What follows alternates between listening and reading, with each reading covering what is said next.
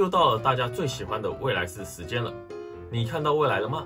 大家好，欢迎来到秀秀秀频道，我是阿修。在经历了一连串闻风丧胆的红卡六周年卡池抗博后，台服玩家即将迎来一段，嗯，以囤食来说算是可以省，但是活动会非常频繁的时期，嘛就是 FGO 日常上半年长草，下半年赶飞机的活动排程，宇宙神游一如既往。我刚刚随手算了一下，到新年的四个月之间，四五星的新角不包含活动免费角有十二只，有点多，是真的有点多。所以本次着重在马上要来到的泳装活动六位角色，以及比较重要的活动排程苹果未来式的部分。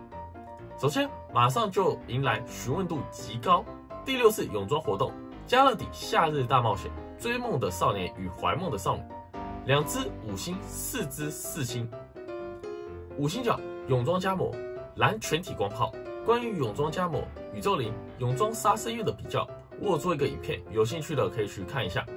很多人会问，泳装加魔要抽吗？泳装一吹要抽吗？宇宙灵泳装杀生月保级可以不用抽这两只等等等。首先，我们先看看泳装加魔的技能。技能一蓝卡三十趴三回合。技能二保卫二十趴三回合，全体魅惑。技能三，自身 NP 加五十趴，普通攻击上碍眼状态。宝具蓝卡全体光炮加魅惑特攻一百五十趴。这边要特别提两个重点：第一，泳装加魔的自我回复技能，每回合自充三点八 NP，宇宙灵只有三点五，所以泳装加魔很有机会每回合回到四 NP。二，泳装加魔在零一的时候宝具时间超级快，大家可以看这个表。泳装加魔的宝具速度是九点五，宇宙灵是十四点六三。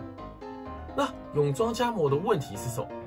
第一，它是宇宙灵的唯一上位版本，在同样宝具的情况下，泳装加魔每回合的 NP 回的比宇宙灵高一点点，宝具速度比宇宙灵快很多。伤害面的部分，因为宇宙灵可以越打越痛，泳装加魔则是要靠魅惑特工才可以在第三回合反超宇宙灵。如果中途遇到大怪的话，魅惑就要放在第二回合用，但这些都不是重点。重点是我们开了未来式之后，我们在一年之后可以抽到一只角色叫泳装一吹。泳装一吹是目前蓝卡周回的王者，NP 率好看，自从五十 NP 狂值，宝具还追加了地特工。那今天问题来了，台服玩家大多都开了未来式，宇宙灵、泳装杀生月可能都保三、保四、保五了。对，没错。泳装加模很强，宇宙灵九十分的话，泳装加模大概是九十二分，而且很香。但如果你只是为了战力而抽泳装加模，那你是不是一样要抽同样的宝具等级才可以替代宇宙灵？那既然为了战力，一年后的泳装一吹你要不要抽？是不是又要抽个保三、保四、保五？所以泳装加模真正的问题是它出卡时间很尴尬。为了战力跟省石头，你可以继续用宇宙灵、泳装杀生远，甚至成功，然后等泳装一吹。那为了卡图跟香度还有爱哦，那就是抽宝。推荐程度没有蓝卡打手，等不及泳装一吹 A；有蓝卡打手想等泳装一吹的别抽了。不过香度跟模组我给他三个 S。同样的问题也出现在泳装黑冲点身上，泳装黑冲点五星剑指。技能一攻击加三十八，Q 卡加二十八，B 卡加二十八，都三回合。技能二自充三十二 P，暴击加五十八。技能三 NP 率加三十八，然后宝具 hit 数又漂亮。你可以把泳装黑松点想成有自充的剑指岩窟网，在一些特别组队上，甚至可以搭配奥伯龙沙狐来组队。那泳装黑松点的问题是什么？第一大问题是现在台服是红蓝卡时代，meta 跟不上。当然，在泳装斯卡蒂出来之后，泳装黑空田可以在九十加关卡打六加成周回，但因为没有特工，所以没办法在九十加加出场。所以还是那句话，为了存实，你还是可以继续用宇宙灵、泳装杀生院，甚至成功。那为了卡图跟香度还有爱哦，那就是抽爆它。推荐程度有爱再抽。而这次四星的泳装角色也是一样的道理，强度上面不差，但都有替代器。泳装皇女，蓝卡单体公子，技能一自充五十 NP，蓝卡三十趴，技能二无敌彩星二十颗，技能三保卫二十八暴击加三十趴，基本上就是小黑的为上位版本。不过小黑作为保五活动角，伤害不俗，而且居家服很赞。伤害面上，皇女要到保二才约等于保五的小黑，要代替小黑建议抽保三会比较好。没有小黑推荐程度 A，有小黑推荐程度 B。泳装夏洛特还是苍月化的，四星蓝卡数值，技能一蓝卡三十趴三回合，敌全体每回合赋予三十趴技能封印状态三回合，技能二可以赋予单体封印一回合，保卫二十趴三回合，技能三自身 NP 加三十，单体加三十，可以视为自从六十或是他从三十的角色，宝具有技能封印状态特工，配上技能二可以视为万物特工。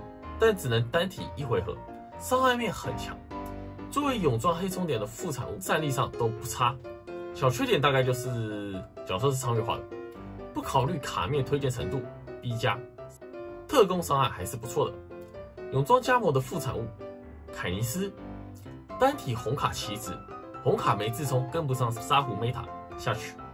泳装青少纳也，四星狂直绿卡单体，技能一攻击加三十八三回合。暴击三十八三回合，NP 加二十，技能二回避两次，暴击加一百趴一 T，技能三彩信二十五颗，宝具有人特工、秩序特工、隐从者特工，第三个特工用不太到，通常视为双特工单体宝具，对上双特工的话会非常强。泳装诺子在刚出来的时候不怎么被重视，毕竟还停留在红蓝卡时代，但在泳装 RBA 出来之后，诺子拥有的 QBBBA 配卡。得到重视，因为第一次的九十加加关卡敌人配置是一一一，配上刚出来的 RBA 可以说是大放异彩，一度被视为九十加加召回的新打手。但在九十加加敌人越出越多的情况下，泳装青少纳元的出场几率越来越低，不俗的伤害配上 RBA 可怕的彩星，伤害面很强，有机会在伐助战登场，推荐程度 B 加，卡面跟模组的诚意很高。喜欢青少纳言的粉丝建议不要错过。But，战力上其实台服玩家可以等泳装斯卡蒂出来之后，本次六只泳装角色都会复刻。如果愿意等七周年卡池 combo 结束后，抽到能辅助泳装青少纳言、泳装黑充田的泳装斯卡蒂之后，再回来补这两只其实也不迟。当然，如果你这次卡池出来就想找我代抽也是 OK 的哦。好，那未来是时间。就战力而言。本次六支泳装角色，红蓝卡对皆完善的屯石流玩家都可以直接跳过。如果是未来想玩绿卡队的玩家，可以在等一年后的七周年加二零二二泳装卡斯 combo 后，再考虑补两只绿卡角。而新手玩家在有速杀、没有宇宙灵、没有泳装杀生月的前提下，可以考虑抽两只泳装加魔作为蓝卡万用打手使用，这九十加关卡还是很好用的。然后战力是一时的，香度是永远的。泳装加模真的赞。这边要特别再讲一下活动排程的部分。上上周的影片我有提到，尼禄季结束之后，泳装海盗箱是未无限箱，但没有提到的是，包含法柱在内，六到十月总计会有五个无限刷的活动。第一个就是刚结束的泥路季，第二个是接下来的海盗箱。海盗箱虽然没有 QP 跟总火，但可以刷十五种素材。效率非常好。台服泳装海盗无限箱预计于六月二十号开始，为期二十一天。有素材需求的朋友们，在九十架关卡后，建议吃一百颗金苹果左右，刷一下素材。八月耶马台国活动复刻，有伐树活动可以参加，但因为给的素材普普通通，没有特别缺的玩家，建议可以加减刷就好。不用吃太多苹果没关系。另外建议在这个活动投入五百万友情点去抽友情池，去把哈贝猫抽回来，然后补一下从者硬币，之后可以拿来换圣杯。九月会有圣诞无限箱可以刷，但本次最高效率关卡仅开放三天。在极级关卡开放的现在，九月圣诞箱的效率不算特别好，也不建议吃太多苹果在这边刷，尤其是圣诞箱结束后一周。